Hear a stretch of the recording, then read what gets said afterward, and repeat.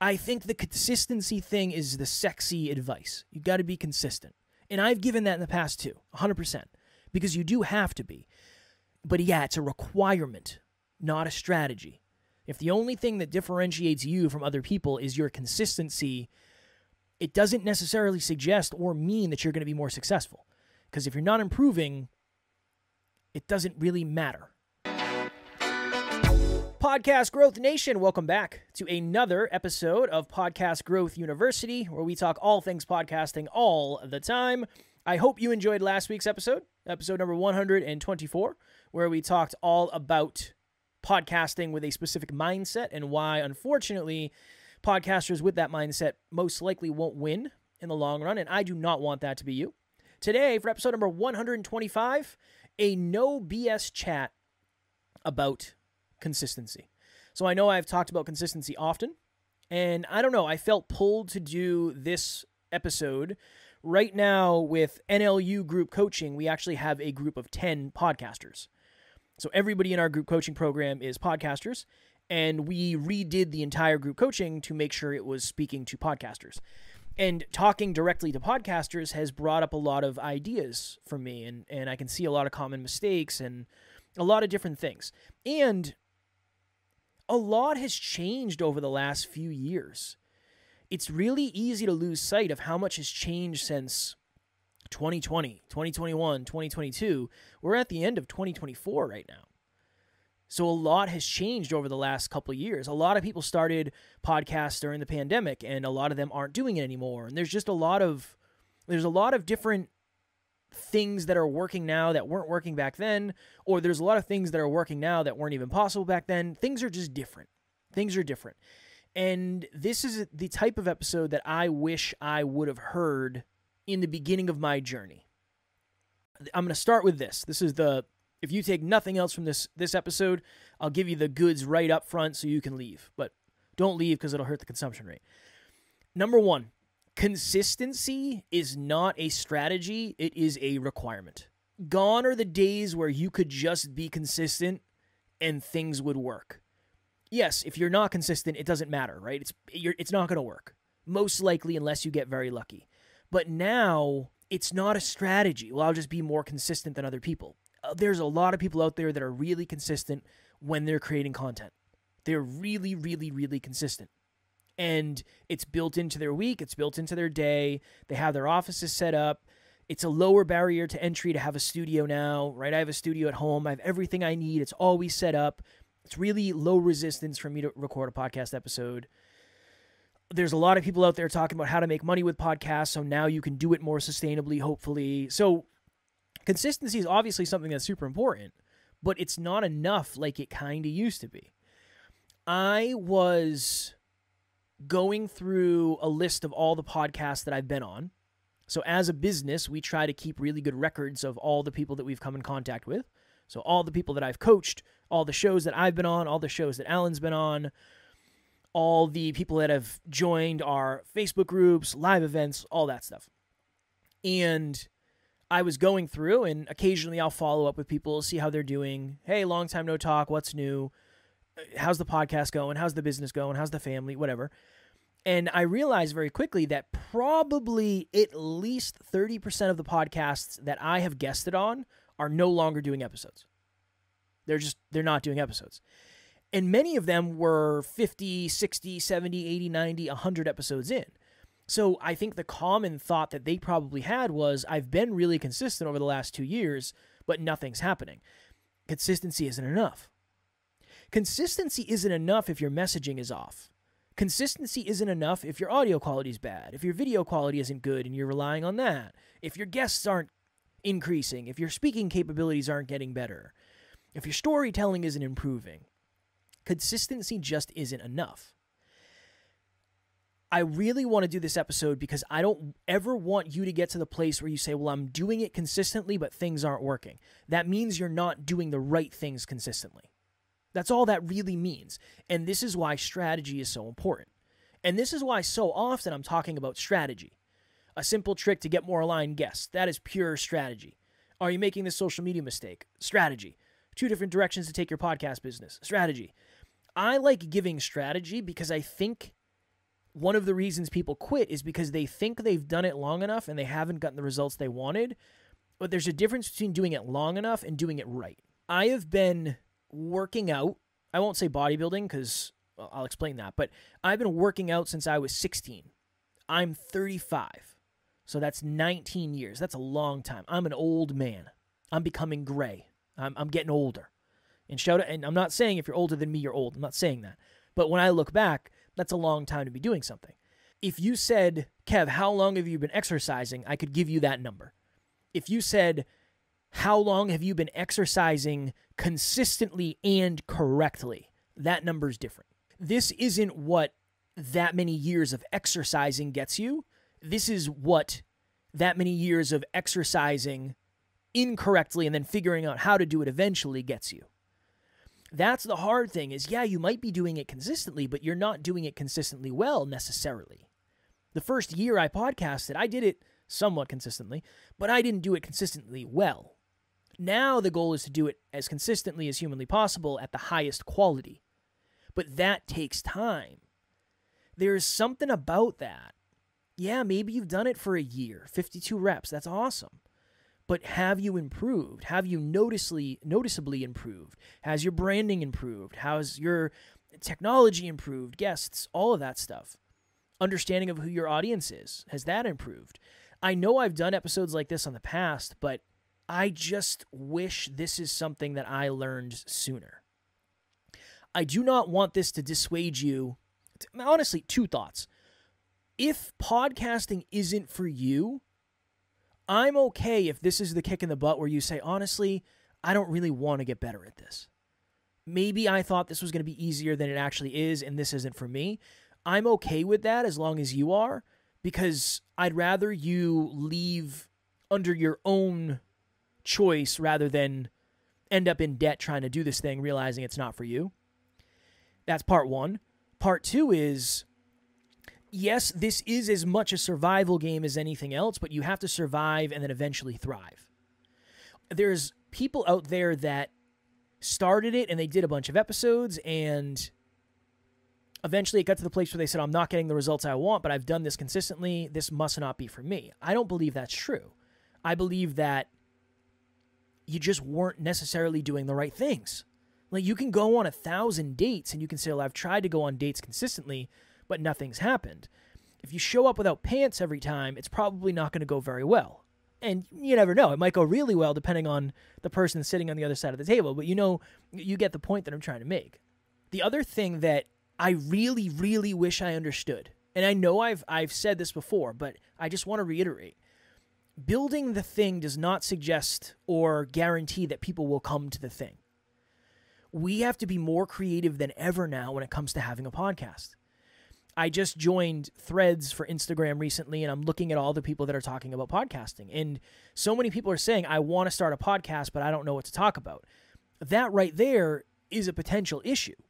You're thinking the podcast is probably going to do more than it actually is. That's like saying, I want to start a business, but I don't know what I want to do. I'm not saying you can't do it but it, it maybe it means you're not connected to what you're actually doing in the first place. You want the benefits of the thing, you just don't know how you want to do the thing yet. I never wanted to be a business owner. I never wanted to be an entrepreneur until I found podcasting. And I said, if I could do that for a living, that would be the best life ever of all time. I'm going to figure this out. I'm not saying it's wrong to do it the other way. But if you think that the podcast is going to be the thing that makes life easier, I do think that you're mistaken if right now you're struggling and you're suffering and it's harder than you thought, this is not a you problem. This is just kind of the way it goes. And that's totally fine.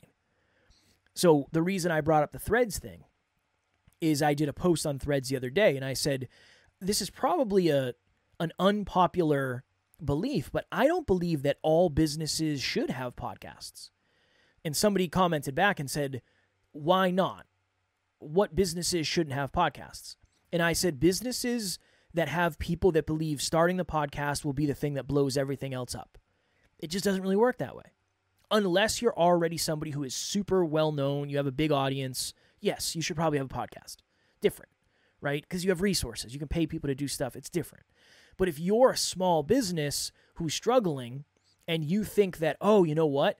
it's because we don't have a podcast and everybody else does. No, no, that's not necessarily it. Just like marriages that are in trouble, having a child isn't necessarily the answer. Yeah, it, it might reinvigorate things for a while, but that's not the problem. The problem is deeper. It's not a podcast that's going to do it. It's some sort of business fundamentals that maybe you're not you're not doing yet. So again, I don't want this to be a negative episode. I really really don't. But I do want to deliver a heart-driven but no BS truth about consistency. Consistency is a requirement. It is not a strategy. It is not a differentiator really anymore. Yes, you can still be more consistent than other people. I don't know many podcasters who consistently podcast as much as I do, but that's not the only reason that we are where we are today. There's so many other things. There's strategies, there's awareness, there's work ethic, there's grit. There's so many things that are built into that. Is there anything else I wanted to talk about today?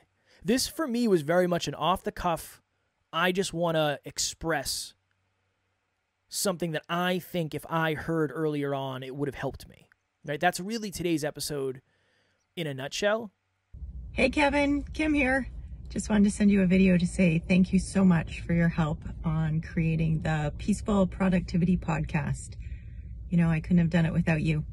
I knew you'd be lots of great help with the technical aspects of getting the podcast going, but you went well above and beyond that. You helped me with the strategy and you gave me all kinds of really great support. You know, I think the key to success in business is a great attitude, and you have that in spades. You really walk the walk. So, thanks again. Take care. I'll talk to you soon. I would say this if you're practicing something consistently, you should also be able to reflect and notice the difference if you don't recognize any difference between where you are today and where you are or where you were a year ago in terms of maybe your branding everything about the podcast your ability to ask questions your ability to answer questions all of that if you don't recognize a difference i would argue a gentle argument that your consistency is not constructive enough if you look back 6 months and you say oh my goodness so much has changed i'm willing to bet that you're constructively consistent. Alan and I had a talk the other day. We had a live event in March. So this episode's dropping a little bit after I release it, but about seven months ago, seven and a half months ago, we had a live event. That feels like it was years ago. I cannot even believe it was only seven months ago. So much has changed. Clients, team, growth, camera angles, lighting, the way we shoot the podcast, so much has changed. It's wild to think of. Goals accomplished, goals set, opportunities, wins, losses, struggles, all of that. There's so much that has changed. But that's because we're not just focused on consistency, we're focused on constructive consistency. It's different. It's different. So that's yeah, that's my that's my takeaway for today's episode. I don't want to dissuade you. I don't want to beat you up. I don't want you to feel bad. I don't. I really, really, really don't. But I do wish I knew this sooner. And the reason I didn't know this sooner is because by the time we were doing seven episodes a week, we had already worked so much on trying to get better as podcasters and business owners and speakers and communicators and all that stuff that we're we've been doing the consistent quality type of improvement. Right? We're, we're, we're trying to do it constructively every single day, a little bit better, a little bit better, a little bit better. Even this episode's an opportunity for me to see what I can do when I'm just spitting off the cuff. And I don't have anything written down. I'm just trying to figure out what would I want to tell myself? What would I want to tell Kev two years ago, five years ago, seven years ago, at the beginning of this journey? So this, even this is me trying to constructively be cons- consistent in real time. And that never ends it never gets to the point where you stop doing that. And it can't because when that happens, you stop growing. And when you stop growing, everything stops growing because at the end of the day, your podcast, your business, your relationships, they're most likely not going to grow beyond what you're capable of. And if they do, they're not going to live there for very long because it's not sustainable to keep. So that is my rant, I guess, for today consistency used to be something that could set you apart, but now I think as the barrier to entry goes down, I know a lot of shows out there that are doing five episodes a week. I know some other shows that are doing seven episodes a week. The difference is some of them are just doing one minute episodes. I'm not saying there's anything wrong with that. That's consistent, but it might not get them the results that they want because they're not reiterating and evolving and being constructive with the way that they're doing consistency. We did this episode a while ago. I don't remember what episode it was, but we talked about sustain- sustainability, consistency, and improvement. Sustainability is being able to actually do something on a repeated basis in the beginning, enough to get started, enough to get going. Consistency is then doing the thing as a habit. And then improvement is doing the thing consistently and is improving as you go. And then the whole cycle starts over again. So we'll use episode frequency as an example. Again, I don't suggest most people do more than three episodes a week. I don't I don't really think you need to. But you do one episode a week and it's sustainable. I'm going to start there. I feel like that's something I can do. All right, cool. I did one episode a week consistently for 52 weeks. Awesome. I feel like I could improve a little bit. All right, this is what I'm going to do. I feel like it's sustainable for me to do two episodes a week. Awesome. I'm going to do that. And then you do two episodes a week for 52 weeks. You say, all right, it's time for me to improve again. Then you do three and you rinse and repeat that. But the ultimate goal is when you're doing one episode a week, that becomes sustainable. Then you do it consistently. You're focused on improving every episode. All right, today I'm going to try to do the intro without any notes. All right, today I'm going to try to do the guest bio without any notes. All right, today, instead of relying on my outro that has my calls to action, I'm going to do a live outro. I'm going to try my best and see what happens. That's improvement. And if it goes horribly, horribly wrong, you just edit it and you try again next week. But every one of these is like a practice. And what are you preparing for? I guess you're preparing for the big game, but there isn't really one big game. There's a bunch of practices, there's a bunch of small games, there's a bunch of big games, and then eventually the big games seem like practice, and then the huge games seem like big games, and it becomes this weird, wonky thing where you get a lot more opportunity. All right, I'm going to shut up now. Somehow I've stretched this into what's going to end up being 20 minutes, as it always is. But I hope you enjoyed this one just because I think the consistency thing is the sexy advice. You got to be consistent. And I've given that in the past too, 100%, because you do have to be. But yeah, it's a requirement, not a strategy. If the only thing that differentiates you from other people is your consistency, it doesn't necessarily suggest or mean that you're going to be more successful. Because if you're not improving, it doesn't really matter. McDonald's has a very consistent product, but it's consistently average. Now, I like McDonald's. I have nothing against it. But you know what you're going to get when you go there. They're not necessarily improving. It doesn't feel like they're improving. Where high-end restaurants are always improving. They're always trying to get better. They're always trying to learn about the audience, whatever. Maybe not the best analogy to end the episode. All right, if you are looking for a group of podcasters who are looking to grow, who are looking to scale, who are looking to monetize, who are essentially looking to get to the next level of their podcasting journey. Make sure you join the private Facebook group, Podcast Growth Nation. We'll have the link below. And as always, if you feel stuck, if you're struggling with your workflow, if you can't figure out who your target audience is, whatever it may be, click the link in the show notes for a free 30 minute podcast breakthrough session. Not going to sell you on anything. I genuinely just want to add value. We'll get on Zoom. I'll share screen. We'll make a whiteboard together. We'll take notes. I'll send that to you so you'll have that. And you can always respond to me through email for any questions that come up after that. I think as of today, I've done 409 or something like that 409 or 419 podcast breakthrough sessions. And I've had the opportunity to learn a ton. So that's also a piece of it for me is I get to learn about what people are struggling with, and then I can do episodes on those things. And yeah, so you're quite literally helping other people by chatting with me about what you may not know yet or what you may be struggling with. So both of those links will be in the show notes. Also, we'll have the links for a couple of the products or services we use, Buzzsprout and StreamYard. I know StreamYard's prices just went up, so maybe it's not sustainable if you're out there. But if you are looking for a host a new host, uh, a host to start with. I think you get $10 if you use my code. I think I also get $10. But I'll have the link below for both of the codes in case you are interested in that as well. As always, I hope I hope you understand that consistency isn't enough and you are very very focused on improvement. I hope that. I hope you don't hate me after this episode because I know maybe a little it was a little bit it was very heart driven but also very no BS and that was my intention in this episode. I hope you're having a strong Q4 and you're getting close to accomplishing your yearly goals and I hope you're taking care of yourself. I know this can be a grind. I know doing it all is really hard. I hope you're taking care of yourself, you're getting enough sleep, you're pouring into yourself, you're doing what fulfills you. That is what I hope most for you this week. Keep on crushing it, keep on podcasting, and I will talk to you all next week.